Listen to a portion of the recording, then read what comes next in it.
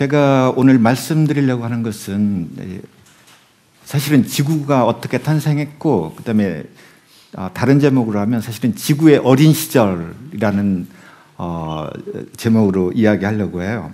바로 지구의 탄생에서 가장 오랜 암석까지 가장 오랜 암석이 몇 살인지 혹시 아세요? 가장 오랜 암석의 나이 40억이에요. 그러면 아까 46억에서 45억 사이. 근데 이거에 기록이 없어요. 지구에는 40억부터 기록이 남아 있는 거잖아. 이게 제가 오늘 하려고 하는 얘기는 기록이 없는 시대의 역사를 하는 거니까 내 마음대로 해도 돼요. 누가 증명 증명할 수가 증명할 수가 없어요. 이제 오늘의 주제가 이제 지구의 기원인데 크게 세 파트로 나눠봤어요. 첫 번째, 어, 하루는 왜 24시간일까? 좀 엉뚱하지만 여기에서 출발을 해보려고 해요.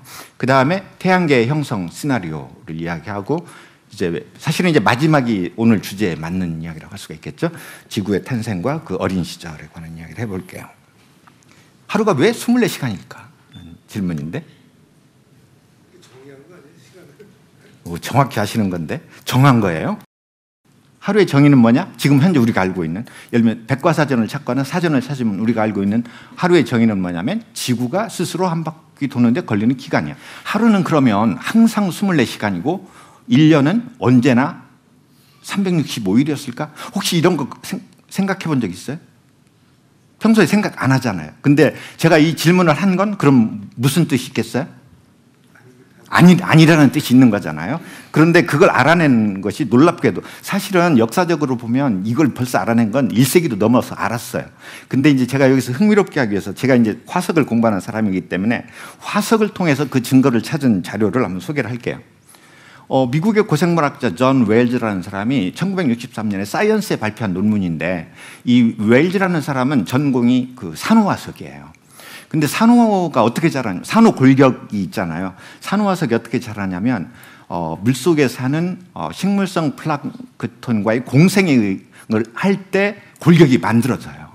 그러면 이거 광합성 하는 식물성 어, 식물성 조, 어, 이 플랑크톤이니까 광합성 활동이 활발하면 그만큼 골격이 잘 만들어지는 거고 광합성 활동이 좀 약하면 덜 만들어진다는 거야. 현재 살아있는 산호의 경우에는 성장선이 약 365개예요.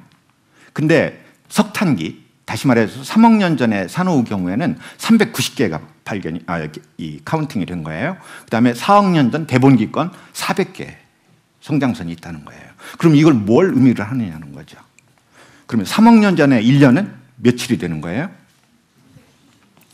390일이 돼요. 그 다음에 4억 어, 년 전에 400일이 결국 지구의 공전 속도가 일정하다라고 우리가 생각을 하면 하루에 시간이 달라지는 거죠. 3억 년 전에는 하루가 22시간 30분이었고 4억 년 전에는 22시간이었다는 이제 그런 이야기가 되죠. 이걸 다른 자료까지 모두 종합한 자료를 보면 화석을 가지고 정한 걸 보면 옛날로 갈수록 1년의 날수는 늘어나고 하루의 시간은 짧아진 그런 결론이 나오죠. 근데 이제 뭐 음, 일반적으로 지구에 대한 생각을 해보면 아, 그건 당연하다 이렇게 할 수 있잖아요. 조성력 때문에 그러는 거니까.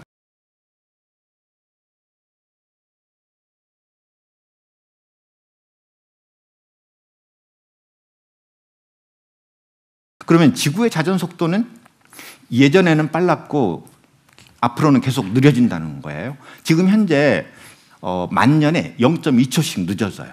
지구의 자전 속도가. 이제 여기에서 이제 그럼 우리 궁금증은 그러면 예전에는 어땠을까? 다시 말해서 지구가 탄생했을 때는 어땠을까? 하는 게 이런 궁금증. 왜냐하면 이게 골격을 가지는 생물이 나온 것은 대개 5억 4천만 년 이후거든. 그러니까 이제 그런 때 생물의 골격, 어, 성장에 따른 성장선을 카운팅할 수가 있는데 그 이전 건 우리가 카운팅을 못 해요. 그리고 지금 지구상의 생명이 언제 출현했냐면 대략 한 38억 년에 출현했다고 알려져 있거든. 근데 지구 탄생한 건 45억 년, 46억 년이잖아요. 그러면 그때는 어땠을까 하는 이제 궁금증이 생긴다는 거죠. 그래서 어 제가 이제 그걸 알기 위해서는 지구와 달 그리고 태양의 형성 과정을 이해한다는 거고 그래서 이제 오늘의 주제가 사실은 이제 그런 지구의 기원이라고 할 수가 있죠. 근데 내가 태양이 뭐라고 그랬어요? 별이라고 그랬잖아요. 그랬을 때 결국 별이 어떻게 만들어질까 하는 질문을 해봐야 하는데 태양도 별 중에 하나 어떻게 보면 특이한 별이죠. 왜냐면 우리가 살고 있기 때문에 특이한 별이지. 어, 전체 우리 은하에서 봤을 때는 사실은 별은 별 볼 일 없는 별 중에 속하. 왜냐면 너무 작아, 작잖아요. 굉장히 작아요. 그러니까 그런데 우리한테는 너무 중요한 그런 별인 거죠. 별이 어떻게 만들어지나? 실제로 별은 성운이 수축해야 만들어지는데 어, 이제 천문학자들의 관측에 의하면 대부분의 서, 성운은 역학적으로 안정돼 있대요. 이게 그 무슨 얘기냐면 수축도 하지 않고 팽창도 하지 않는다는 거야. 역학적으로 안정돼 있다는 것은. 근데 별을 만들려면 수축을 해야 하잖아. 그러면 수축을 하게 하는 방법이 뭐냐는 거죠. 결국에는 주변에 어딘가 초신성 폭발이 있지 않으면 별이 안 만들어지는 거예요. 초신성 폭발에 의해서 엄청난 파동이 충격을 줄 수도 있지만 실제로 초신성 폭발에 의해서 이, 이 불꽃처럼 튀쳐나가는 물질이 그 주변에 있는 성운에 들어가면 그것에 의해서 균형을 어, 흐트리는 거니까 그때부터 이 균형만 흐트렸으면 그 다음에 별들은 어, 자동적으로 이제 어, 이제 만들어지게 돼 있죠. 근데 우리 태양 성운이 아마 46억 년 전만 해도 안정적으로 있었을 거예요. 근데 아마 그로부터 얼마 지나지 않은 시기에 주변에 가까이 있는 어떤 별이 어, 일생을 마감을 했겠지. 여기서 슈퍼노바, 초신성이라고 하는 거니까 굉장히 큰 별이 죽어야 해요. 죽어야지 우리의 그 태양을, 어, 태양계를 탄생시킬 수 있다는 거죠. 그래서 일단 수축을 하면 중앙부에는 이제 이 태양이 만들어지고 어, 수축을 하면서 저런 그 주변에 어, 원반이 형성이 되죠. 이제 그 시기를 대개 45억 7천만 년, 좀 더 뭐 정확하게 이 제한한 그 값을 보면 45억 뭐 6,700만, 아 800만 년 뭐 이런 식인데 일단 여기서 45억 7천만 어, 년으로 했고요. 그래서 그걸 이제 어느 정도 시간이 지나서 원반에 원반에 있던 먼지들이 이제 서로 달라붙어서 또는 이제 정전기 때문에 처음에 시작을 하지만 나중에는 덩치가 커지면 점점 점점 크기가 커지는 그런 형태로 이해를 하시면 되죠. 그랬을 때 이런 그림이 그려지는데 이걸 요약을 하면 어, 태양 성운이 수축을 해서 어, 일단 이제 원시 태양을 만들고 그러면 이제 주변에 원반이 형성이 되죠. 이 원반에서 우리가 지금 알고 있는 원시 행성들이 어, 이 만들어지는 거예요. 그래서 이 원시 행성들이라고 하는 것들은 지금 우리가 알고 있는 뭐 우리 행성을 만드는 재료라고 이해를 하시면 되죠. 그래서 그 부분을 간단히 요약을 하면 일단 어, 원반의 회전 적도면에 알갱이들이 모이고 이것은 태양계가 수축, 어, 태양 성운이 수축해서 아마 첫 한 수천 년 동안에 일어나는 일이라고 돼 있고 그러면서 단순히 2번, 3번은 그냥 크기가 증가한다는 걸로 이해를 하시면 돼요. 그래서 점점 점점 커지죠.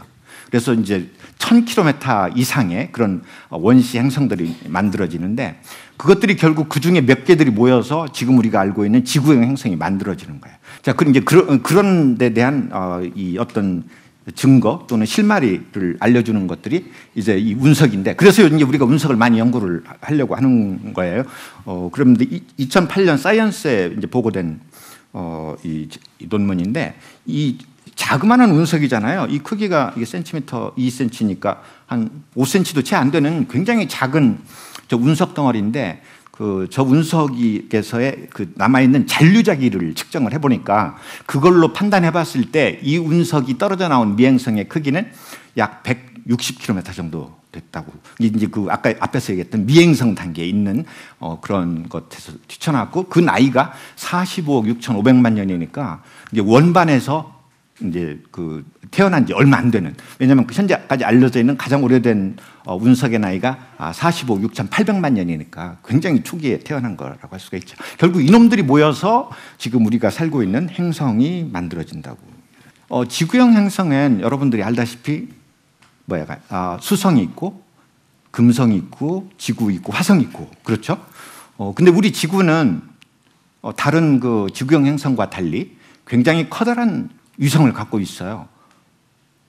현재 지구와 달을 만들어지는 어, 이 과정을 설명하는 가설이 이제 거대 충돌설인데, 그러니까 두 개의 큰 원시 행성이 부딪혔다는 이제 그런 어, 이야기죠. 그랬을 때 어, 그냥 결론만 말씀드리면 약 45억 년 전, 그러니까 태양계가 탄생해서 한 5, 6천만 년 지나고 난 후에 원시 지구 여기서 원시 지구가 90% 현재 크기의 90%라는 뜻이에요.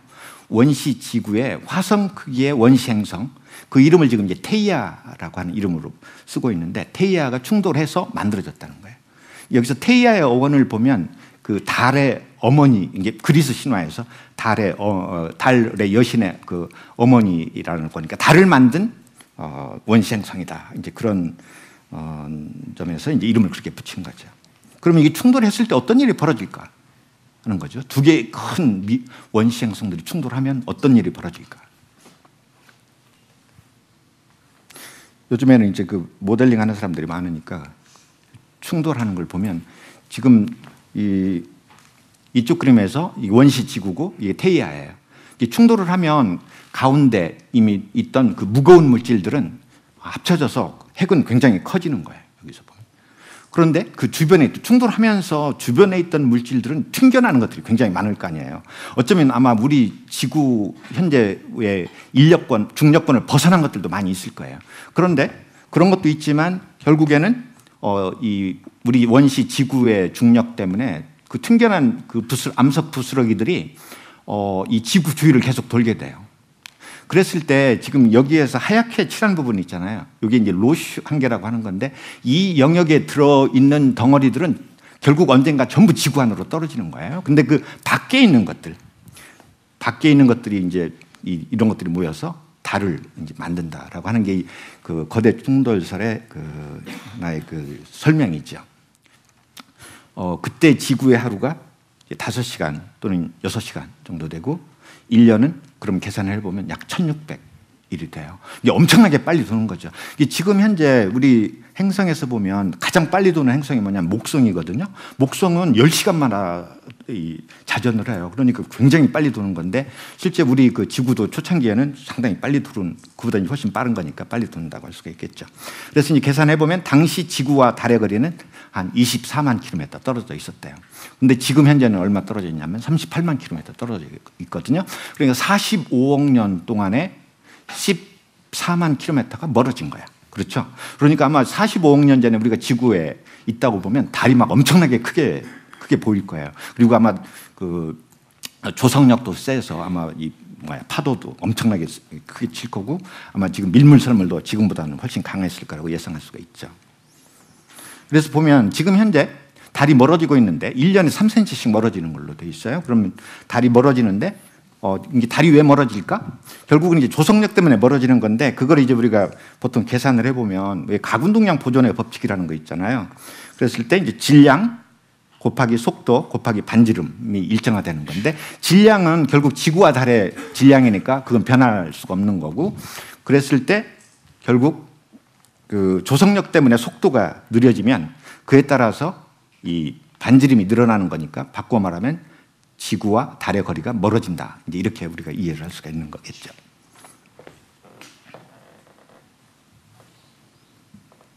그러면 충돌로 일어난 변화, 충돌 직후에 어, 이런 어, 생겨날 수 있는 그런 현상을 한번 어, 따져보면 태이아와 충돌에 의해서 이제 지구의 질량이 증가하는 거고 그러니까 뭐 원시 지구가 90%에서 지금 현재의 크기로 도달했다고 할 수가 있고요. 그 다음에 그때 아마도 지구의 자전 속 속도와 아, 자전축의 기울기가 정해졌으리라고 생각이 돼요. 우리가 왜 당구 칠 때 정통으로 치면 어떻게 돼? 튕겨나 버리잖아요. 아마 약간 비스듬하게 맞아야지 현재와 같은 그런 어, 속도를 어, 유지했을 거라고 생각해요.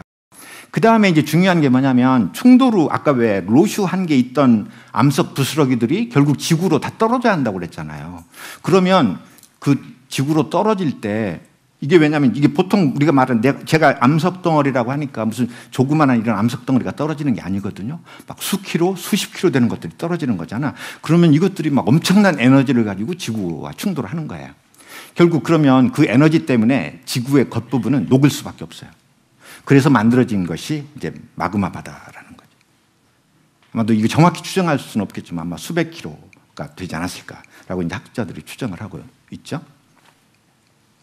자, 그러면 이제 여기에서 지금 어, 충돌해서 처음 한 수백만 년 동안은 어, 표면이 마치 용암으로 덮여 있는 그런 이제 지구를 상상을 해야 하는데 우리가 거기서 지금 필요로 하는 건 뭐냐면 결국 언젠가 대륙도 만들어지고 바다도 만들어져야 하잖아요. 그렇죠? 무거우니까 사실은 내려가 있는 거거든.